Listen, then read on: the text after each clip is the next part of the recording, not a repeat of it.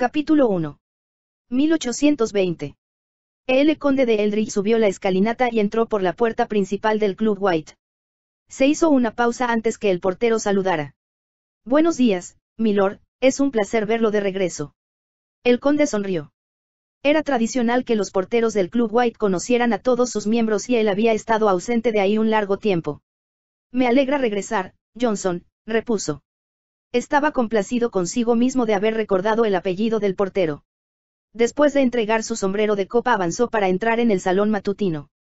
Dirigió una rápida mirada hacia la ventana saliente donde Bob Bromall, antes de ser exiliado de Inglaterra, solía estar rodeado de sus admiradores. De pronto, al fondo de la habitación vio a los hombres a quienes buscaba. Eran cuatro y mientras se dirigía hacia ellos lo miraron con asombro y enseguida exclamaron. Roydin. Realmente eres tú. Se incorporaron de un salto y extendieron las manos. El conde estrechó las manos de los cuatro de sus mejores amigos, con tres de los cuales había asistido a Iten. ¿En dónde has estado todo este tiempo? Preguntó James Ponsonby. Estaba en el campo, Jimmy, explicó el conde, remendando mi techo a punto de derrumbarse e intentando impedir que mis pensionados se mueran de hambre. Lo dijo con cierta amargura en su voz. Después añadió, con un tono diferente. Pero ahora, ya todo ha terminado, sí, ha terminado del todo y por completo. Pronunció las últimas palabras con lentitud y sus amigos lo miraron. ¿Qué quieres decir con eso? Preguntó uno de ellos. El conde aspiró hondo antes de responder. Soy rico. Inesperada, extraordinaria e increíblemente rico. Durante un momento reinó un silencio absoluto. Entonces, cuando todos empezaron a hablar al mismo tiempo, el conde levantó la mano. Por amor de Dios, deseo una copa. La necesito. Y si quieren saber la verdad, Estoy en extremo conturbado. Se rió y antes que nadie pudiera hablar, llamó a un camarero. Dos botellas de la mejor champaña, no, tres, y rápido. El camarero se apresuró a obedecerlo y el conde se sentó en uno de los sillones de cuero mientras decía. Tiempo al tiempo. Les contaré todo dentro de un minuto, sin embargo, apenas si yo mismo puedo creerlo.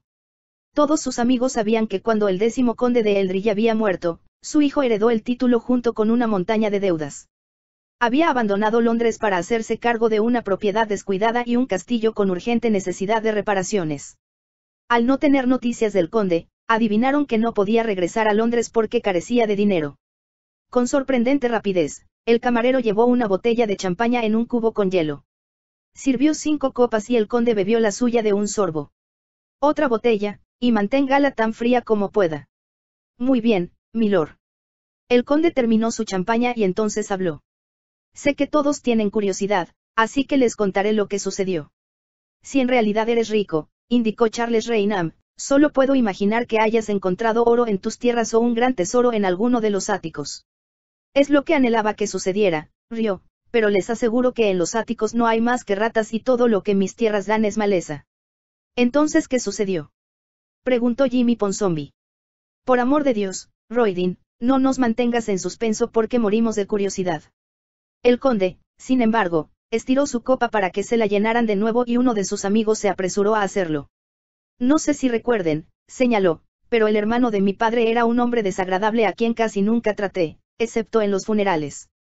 Le desagradaba la familia, a menos que hubieran muerto, así que se trasladó a Northumberland y compró una casa allí. Recuerdo que una vez fue a Iten, señaló Jimmy, y, cuando se fue, te regaló seis peniques, lo que me pareció el gesto más miserable que jamás había visto. Así era el tío Lionel, admitió el conde, y, mientras que mi padre era en exceso generoso y derrochador, él se convirtió en lo opuesto, un avaro. El conde bebió su segunda copa de champaña. Y, al notar que sus amigos esperaban, continuó. Me notificaron hace 15 días que mi tío había muerto y recibí una carta de sus abogados informándome que, como me había nombrado su heredero, deseaban verme con urgencia. Hizo una pausa y continuó. No pensé que valiera la pena el viaje hasta Londres. Sin embargo, recé porque me hubiera dejado algo, cuando menos buenos deseos, que nada le costarían. Tomó otro sorbo del contenido de su copa y antes que nadie pudiera hablar, prosiguió. Pero me dejó todo cuanto poseía. Todo. Preguntó Charlie. ¿Y cuánto es? El conde hizo una pausa, como si le fuera difícil responder. Instantes después, dijo, con lentitud. Un poco más de, Tres millones de libras esterlinas. Todos sus amigos lanzaron exclamaciones ahogadas. Después empezaron a hablar, todos al mismo tiempo. ¿Cómo es posible que lo hiciera? No tenías idea de eso. ¿Por qué? ¿Por qué? ¿Por qué? El conde levantó la mano. Sabía que eso preguntarían y puedo responderles que fue muy sencillo, ahorró y escatimó, hasta el último céntimo. Durante toda su vida, invirtió en varias compañías, a las que siempre investigaba con todo cuidado. Hizo una pausa, dio un sorbo más a su champaña y continuó. También tenía algunas acciones en los Estados Unidos que resultaron muy fructíferas y el dinero se acumuló año tras año, se incrementó cada vez más. Jamás había oído nada tan interesante. Exclamó Jimmy. Felicidades, Roydin. Y si yo no tuve la buena suerte de convertirme en un Midas, estoy encantado de que tú sí. Gracias, Jimmy, y te juro una cosa, jamás olvidaré a mis viejos amigos. Bebió un poco más antes de explicar. De hecho, camino hacia aquí, estuve pensando cómo recompensarlos por su amistad de tantos años y tengo un plan especial que espero que acepten. Antes que pudiera decir algo más, tres jóvenes que apenas habían entrado en la habitación se acercaron para saludarlo. Qué gusto verte, Roydin. Exclamaron. ¿Qué diablos estabas haciendo? Te echamos de menos. Ya estoy de regreso, respondió el conde.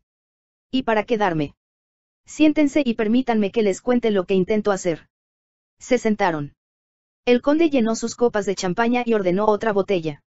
Contó a los recién llegados su buena suerte. Entonces preguntó. ¿Cuántos somos? Diez, respondió Charlie después de dar una mirada en derredor. Entonces creo que debíamos ser dos más, afirmó el conde, sería de mala suerte ser trece. No tienes razón al hablar de mala suerte, terció a alguien. Lo que llega fácil, fácil se va, citó Jimmy Ponsombi, y sea lo que sea que Roydin considere que doce somos suficientes. En ese momento dos hombres entraron en la habitación y los llamó. Uno de ellos, notó el conde, era Sir Mortimer Martin, que nunca le había agradado. Sin embargo, lo saludó con cortesía y no dijo nada. Con Sir Mortimer estaba otro Berenit, llamado Edward Howe. Harry, como siempre le decían, era un gran amigo del conde. El conde lo hizo sentar a su lado mientras le decía. Me alegra que estés aquí, Harry. Esperaba verte ahora que llegué a Londres. Y yo tenía grandes esperanzas de encontrarte. Respondió Harry. ¿Cómo pudiste permanecer ausente por tanto tiempo? No fue porque lo deseara, respondió el conde, como acabo de explicar a nuestros amigos. Y ahora escucha lo que he planeado para divertirnos y expresarles mi gratitud por todos los años que estuvimos juntos. Los hombres ya habían llenado de nuevo sus copas.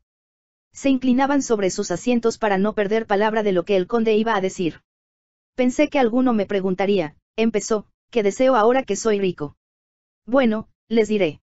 Deseo a la más hermosa cortesana de Londres, los mejores caballos que pueda obtener y ofrecer una fiesta en el castillo a la que todos están invitados. Grandes risotadas estallaron y uno o dos aplaudieron. Lo primero será sencillo, puesto que eres tan rico.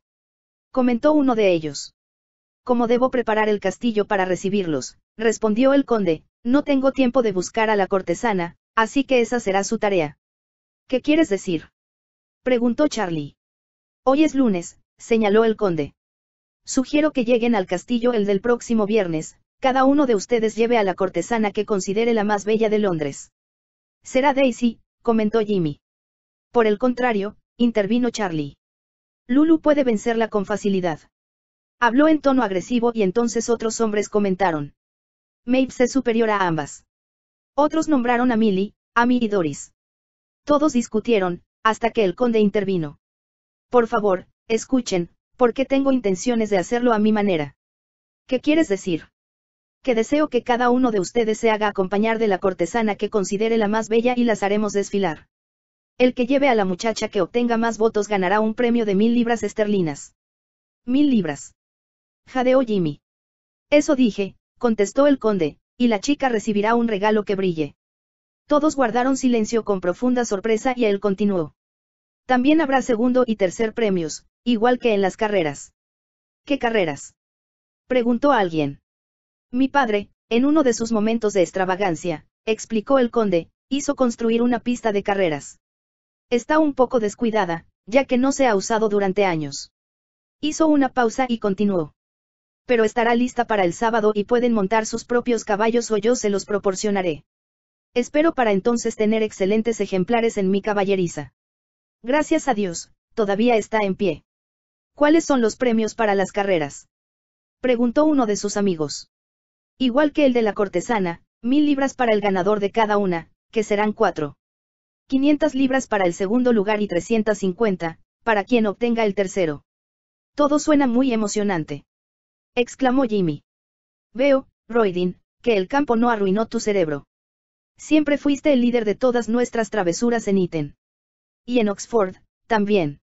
Indicó Charlie. Pensé que eso les divertiría, manifestó el conde.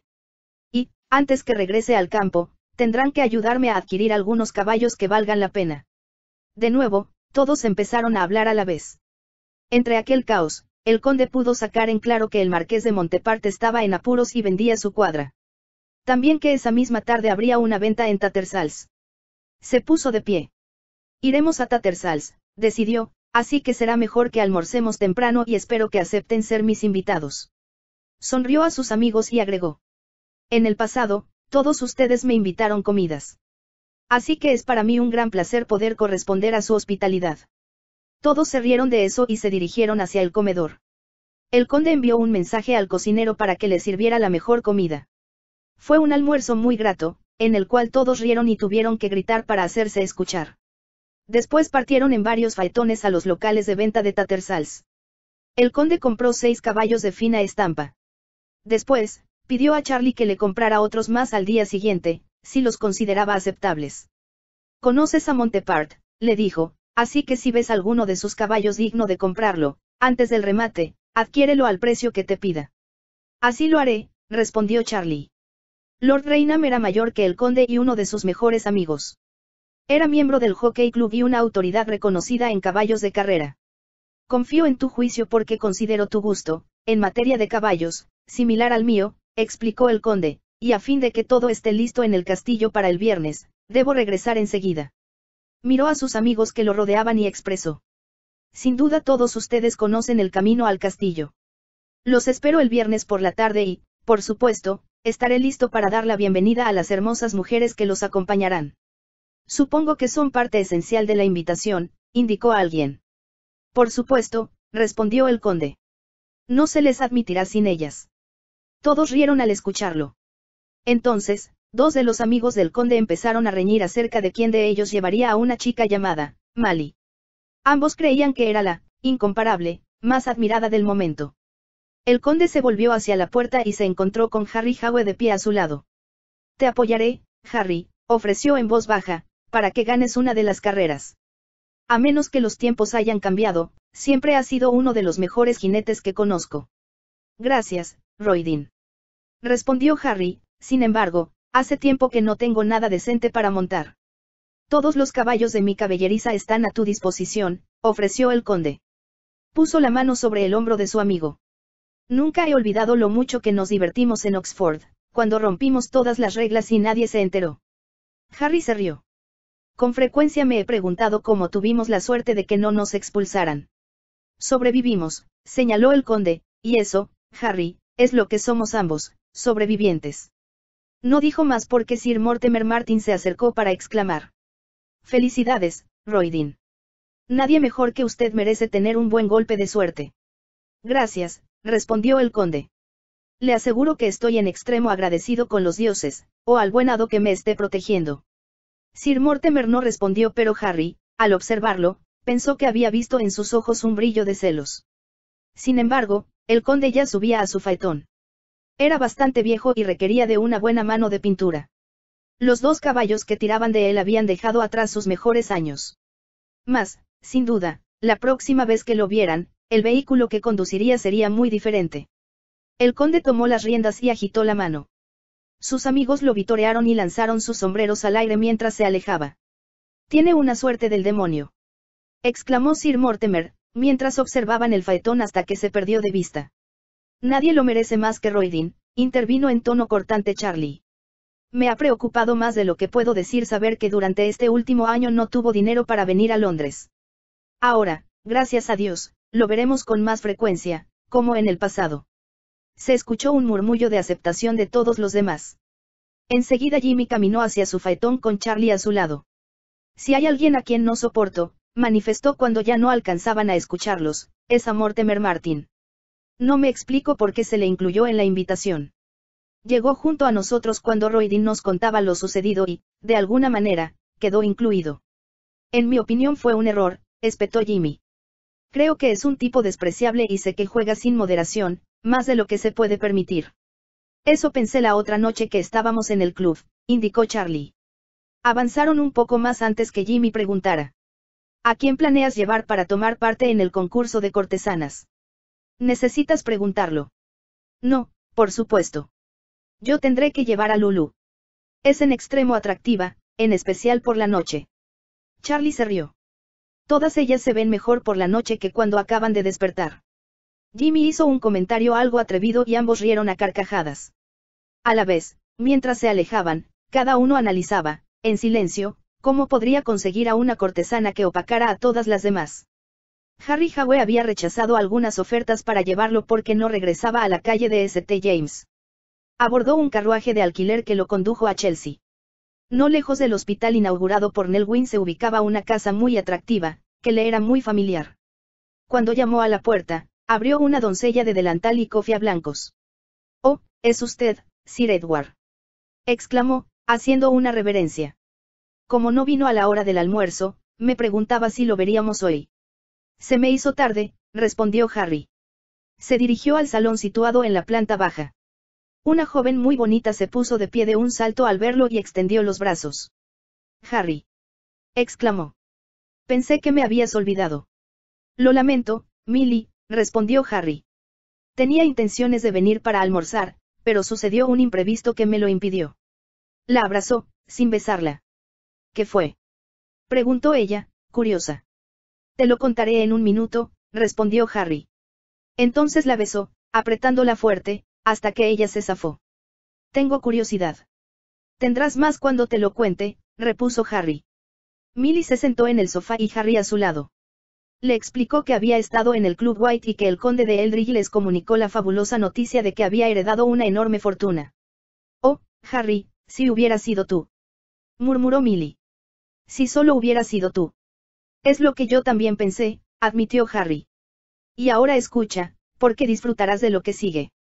Le explicó que el conde ofrecería una fiesta donde todos sus amigos debían llevar a la cortesana más bella que conocieran que el premio por presentar a la más hermosa sería de mil libras. La triunfadora se haría acreedora a, un regalo que brille, dijo citando las palabras del conde y añadió. Lo que, por supuesto, significa, diamantes. Los ojos de Milly resplandecieron. Oh, Harry, suena maravilloso. Lo será y, en especial, porque estoy seguro de que también ganaré las carreras. Y también se ofrecerán premios. Sí, por la misma cantidad que por las muchachas. ¿Y cuándo será la fiesta? El próximo viernes. El rostro de Milly se ensombreció. Oh, no, no el próximo viernes. ¿Por qué no? ¿Qué pasa? El varón regresa esa noche. Oh, no, no lo puedo creer. Exclamó Harry. Es cierto, le aseguró Milly. Recibí noticias de él esta mañana. Oh, sin duda podrías encontrar algún pretexto para ir conmigo al castillo Eld. Milly negó con la cabeza. Sabes que eso es imposible. Se hizo el silencio. Harry sabía, tan bien como Millie, a quien tenía tres años de conocer, que ella estaba bajo la protección del barón von Waltermer. El barón, un hombre muy rico, había hecho de Inglaterra su hogar durante casi diez años. Como era muy astuto y estaba involucrado en muchas compañías de tecnología, era más o menos aceptado como ciudadano inglés. Generoso, cuando así se lo proponía, había proporcionado a Millie una casa en Chelsea. También le había regalado un carruaje y dos caballos, y le tenía sirvientes para que la atendieran. Ella era, sin duda, la cortesana mejor vestida de todas las de la alta sociedad. Y aún más, el varón nunca viajaba sin, a su regreso, llevarle una joya como obsequio. Harry no habría podido adquirir ni la más modesta de ellas. Pero era una regla aceptada que cuando una cortesana estaba bajo la protección de un caballero, no estuviera disponible para nadie más. Fue solo porque Millie conocía a Harry desde mucho tiempo antes, que rompió lo establecido al respecto. También sabía que para él resultaba imposible mantenerla con el lujo que le brindaba el varón. Lo lamento, Harry, declaró ahora y su voz era por completo sincera. Está bien, Millie, repuso él con aceptación, no es culpa tuya. Estoy segura de que encontrarás a alguien más para que te acompañe. Nadie sería como tú, respondió, y además, no conozco a ninguna más que siquiera mereciera una ligera mirada de los concurrentes a la fiesta. Milly lo besó, pero sabía que era un pobre consuelo en ese momento. Creo que será mejor que regrese al club y vea lo que sucede, sugirió Harry. Por favor, quédate a cenar. Él negó con la cabeza. Vendré mañana si me es posible, ofreció. Mientras tanto, necesito pensar para encontrar una solución. Oh, Harry, si hubiera sido cualquier otra semana, podría haberlo arreglado, pero cuando el varón ha estado ausente por tanto tiempo, espera que lo reciba con ansiedad. Lo sé, lo sé. Aceptó Harry. No empeores la situación, Milly.